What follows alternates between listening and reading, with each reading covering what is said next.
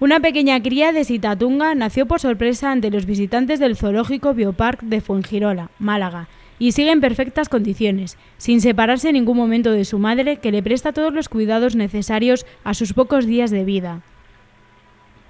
La familia de antílopes comparte instalación con otras aves y mamíferos como los ibes sagrados, las grullas coronadas o los lemures. Se trata de uno de los recintos multiespecie de este zoológico cuyo objetivo primordial es la estimulación tanto física como psicológica de todos los animales que conviven en un mismo espacio.